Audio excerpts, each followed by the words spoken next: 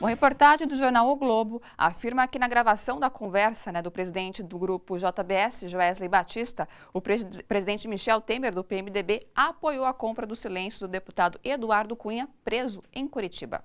Na conversa, o empresário teria dito a Temer que estava pagando a Eduardo Cunha uma mesada de 500 mil reais por semana na prisão para ele ficar calado. Temer teria pedido para ele continuar com os pagamentos. Tem que manter isso, viu? Em outro trecho da conversa, Temer teria indicado o deputado Rodrigo Rocha Loures, do PMDB do Paraná, para resolver um assunto da empresa que controla a JBS. Rocha Loures foi filmado recebendo uma mala com 500 mil reais enviados por Joesley.